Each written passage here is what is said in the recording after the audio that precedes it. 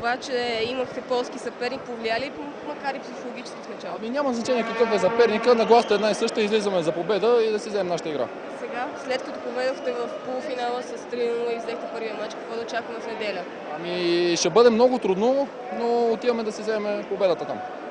Смятате ли, че за пореден път надскочихте себе си или това са реалните ви възможности, тъй като едва ли някой очаква да победите толкова категорично? Ами, наистина може да се каже, че надскочихме себе си, защото днес показахме един много добър волейбол и резултатът го показва. Колко близате до финала според теб?